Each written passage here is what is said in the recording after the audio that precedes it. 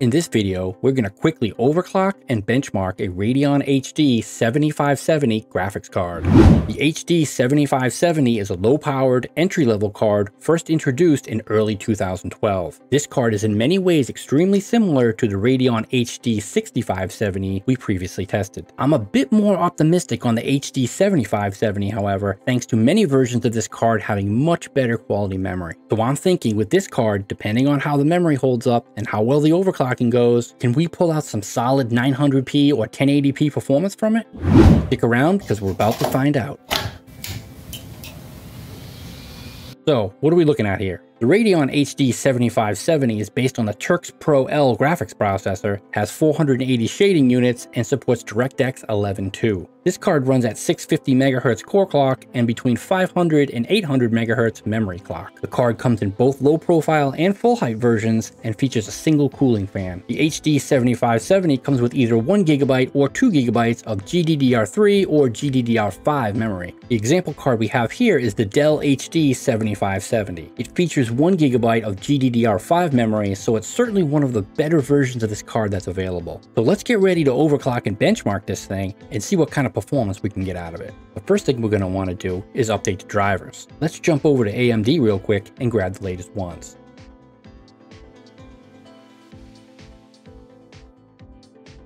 Now that our drivers are nice and updated, the next step is to install an overclocking program called MSI Afterburner. MSI Afterburner is a totally free tool that gives you a high degree of control and monitoring over your graphics card. It's made by MSI the company, but in no way do you have to use it with an MSI brand of card or anything like that. Now that MSI Afterburner is installed, let's run through the key settings we'll be using. With this card, we'll be focusing on the core clock and memory clock values in the middle section here. We can see that the fan speed is currently set to auto. You can switch this off and manually select the fan speed, but for this video, we're just going to leave it on auto. One thing we're going to need to do for this card and for a lot of other AMD cards is extend the overclocking limits. To do this, first go to properties, then check the box labeled extend official overclocking limits. You'll then need to reboot the computer to open up a larger range of possible overclocks.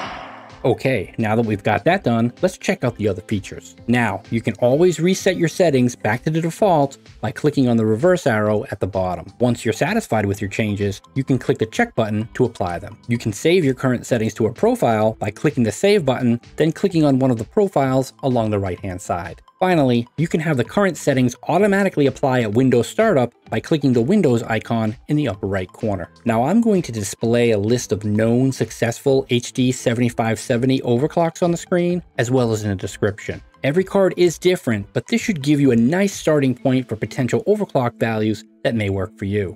Now that we've locked in some potential overclock settings, we're going to want to test them. We'll be running through five programs with benchmarks to test our overclock for stability and performance. What I'll do first is run through all five benchmarks using stock settings to measure base level performance numbers. Then I'll select a minor initial increase in both core clock and memory clock values. I'll then run through the Unigine benchmark tool over and over while increasing the overclock values slightly each time. Once the settings have been pushed too far and I start seeing crashing, graphical glitches, or other types of odd behavior, I'll dial back the settings to what they were just previously when everything was still running smooth. At this point, I now have a solid idea of where the sweet spot is for overclocking my particular card. I can either stick with those settings or try tweaking things just a little further. After a number of tests, this particular card was able to reach a solid overclock of 780 MHz core clock and 900 MHz memory clock.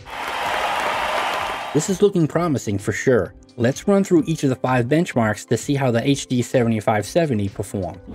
First up, it's Unigine, Superposition Benchmark Tool. Running at the 1080p medium preset, the base score came in at 699. After overclocking, the score improved to 823. This represents an increase of 17.7%. Not bad, but the 1GB of memory on this card may be holding us back a bit here.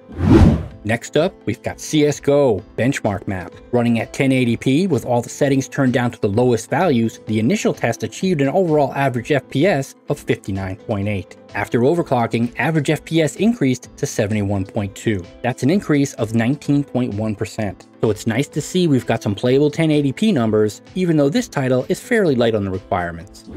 Benchmark number 3 is Grand Theft Auto 5 Benchmark, running at 1080p, 50% resolution scaling, and everything turned down as low as it would go, our initial average FPS was 69.2. After overclock, average FPS increased to 81.1. That's an increase of 17.2%. So, not a bad increase, and we seem to be developing a bit of a pattern here. Our fourth test is Final Fantasy XIV Endwalker Benchmark Tool. Running at the 1080p standard preset, initial results achieved a score of 2860, or slightly low rating. After overclocking, the score improved to 3332, also slightly low rating. This represents an increase of 16.5%. So, nothing major, but a solid increase nonetheless. For Benchmark 5, we have Borderlands 3 Benchmark, running at 1080p, 50% resolution scaling, and everything turned down to the lowest settings, the initial average FPS came out to 19.5. After overclocking, average FPS increased to 23.1. That's an increase of 18.5%. A solid increase for sure, but perhaps a bit short of a playable experience with this title. So, how did we do with this Radeon HD 7570? I'd have to say I'm a bit surprised and impressed that we were able to pull some minimal 1080p performance from it. However, just be aware that the quality of memory plays a significant role in the performance of these types of cards. Please feel free to leave a comment, and thanks so much for watching.